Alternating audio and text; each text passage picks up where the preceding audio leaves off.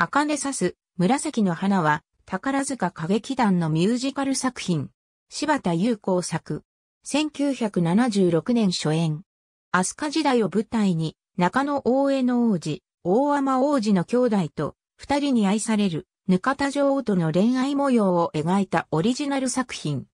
妖怪地戦岡山万葉歌碑表題は、万葉集にある、ぬかたが大天に送ったと言われる歌。茜さす紫の雪氷や雪の森は水や君が袖、古にあるによる。この歌を歌詞に取り入れた、主題歌、紫に匂う花を、はじめ、数種の万葉歌が、劇中のミュージカルナンバーに取り入れられている。作曲は、柴田との共同作業が多かった、寺田滝夫。題名の前に、万葉ロマンと銘打たれている。本作の初演当時、宝塚歌劇では、古代王朝時代を舞台とした作品は、まだ少なく、馴染みの薄い時代に踏み込んだ、意欲作であった。初演が好評を博し、翌77年に早速再演。柴田作品で初めて再演された作品であった。その後も1995年を、はじめたびたび再演され、柴田によるあえ物オリジナル作品の中で最も上演回数の多い作品となっている。柴田は初演から演出も手掛けていたが、彼が眼病を患い演出活動が困難となったため、1995年版から外部招聘した演出担当者や後輩演出家に実質的に演出を委任、柴田が脚本の遂行に専念する形で上演に関わっていた。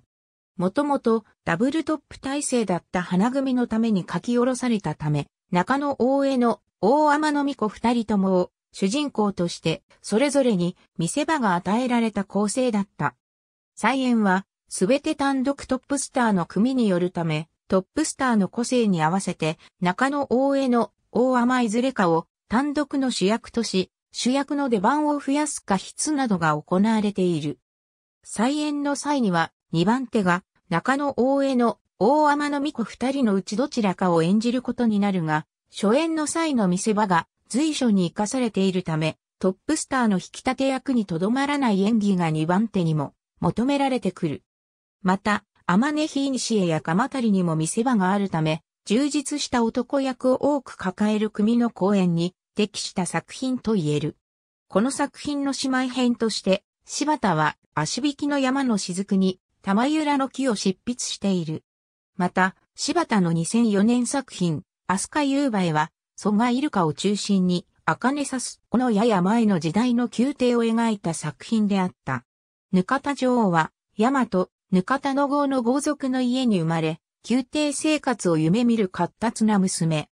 同郷の若い仏師、アマネヒイニシエは彼女に思いを寄せていたが、身分の違いから結婚できないため、彼女の顔を原型として、菩薩像を彫ることで、思いを芸術に昇華させようとしていた。やがてぬかたは、大天王子が中野大江の王子についてぬかた里を訪れた時、大天に見染められ、憧れの宮廷に、心優しい大天と火となったぬかたは仲睦まじく、二人の間には重視王女も生まれ幸福な日々を送る。一方、政治力に優れた皇太子、中野大江野は、中富の鎌足りたちに支えられ、大化の改新を推進していたが、王女を生んで、あでやかさを増したぬ方に引きつけられ、強引にぬ方を自分の日にしてしまう。尊敬する兄からの、この仕打ちに、大天は無力感に打ちのめされる。ぬ方をめぐって葛藤する大天、中野大江の、そして兄弟間の亀裂を懸念し政略をめぐらす、中富の鎌足り。また成長した天音ひいにしへも、遊女、小月の自分への愛を感じながらも、ぬかたを忘れられずにいた。様々な人々の思いを巻き込みながら、歴史が動いていく。ピンク背景が主役を示す。は、公演年と公演組の下の文字は公演場所。役者の場合は、新人公演。不明点は空白とする。の文字は公演場所。不明点は空白とする。ありがとうございます。